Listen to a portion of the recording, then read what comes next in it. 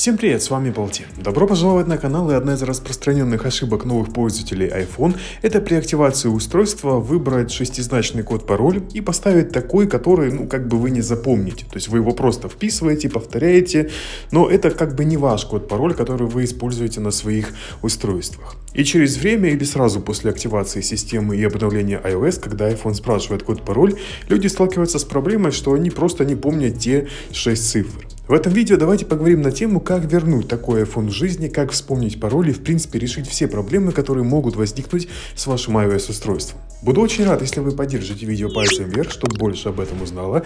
Также подписывайтесь на канал. В этом видео хочу показать вам приложение, которое называется Log Viper. С помощью этой программы можно решить огромное количество проблем, которые могут возникнуть во время использования iPhone. Поэтому приложение можно скачать и установить на всякий случай, не повредит, если будет скачано. Тем более программа весит немного, есть на Windows и на Mac, ссылка, короче, на сайт в описании. Тут можно подробно ознакомиться со всем, что умеет данная программа. Допустим, мы рассмотрим ситуацию, когда мы забыли код-пароль на нашем устройстве, то есть вот мы его не помним, соответственно, не можем попасть в устройство. И что в этой ситуации делать, как вернуть iPhone к жизни и использовать как раньше.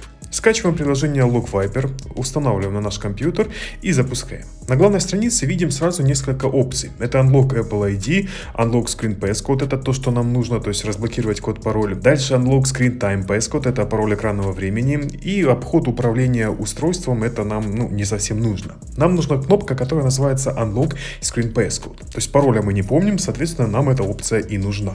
Далее мы видим этот экран, тут нам рассказывается, в каких ситуациях можно использовать данное приложение, и есть предупреждение, что будет происходить с нашим устройством. Можно просто почитать, но в целом там все понятно, поэтому спокойно и смело нажимаем на кнопку «Старт». После этого устройство распознается и нас попросят перевести наш iPhone в режим восстановления. Опять же инструкции будут на канале, просто следуйте инструкциям и у вас все получится. Дальше устройство распознается, распознается последняя версия iOS, которая доступна для вашего устройства. И все, что вам остается сделать, это нажать на кнопку Download и начнется скачивание прошивки. Файл качается полным размером, поэтому это займет какое-то время и все зависит от э, скорости вашего интернета.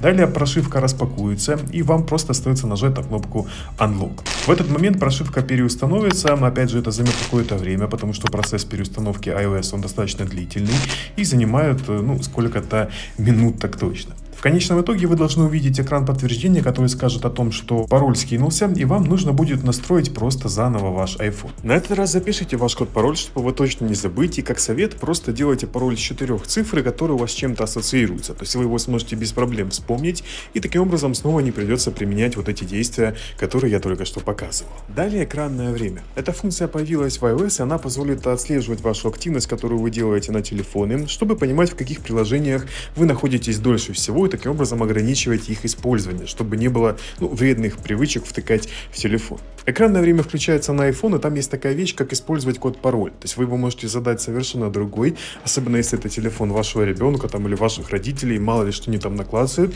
и поставят пароль. То есть иногда люди хотят выключить экранное время, а не могут, потому что там стоит э, код-пароль, и ну, его просто нельзя убрать. Приложение Log Viper тоже умеет обходить этот пароль. Тут есть опция, которая называется Unlock Screen Time Passcode. Это как раз таки пароль экранного времени. То есть там почти такая же ситуация, как и в прошлом случае. Вы просто следуете инструкциям, там точно так же переустанавливается система и скидывается тот же самый пароль. То есть если вы забыли пароль экранного времени, можно использовать это приложение для решения этой проблемы.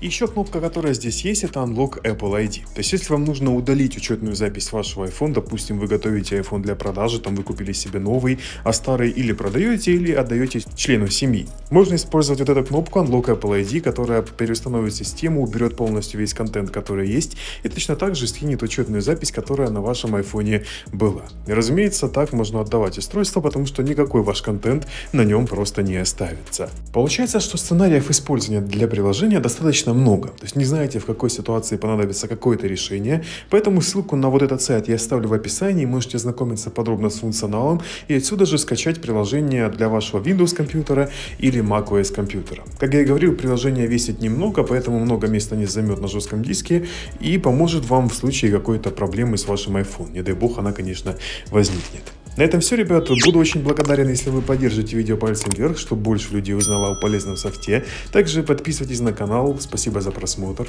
Пока.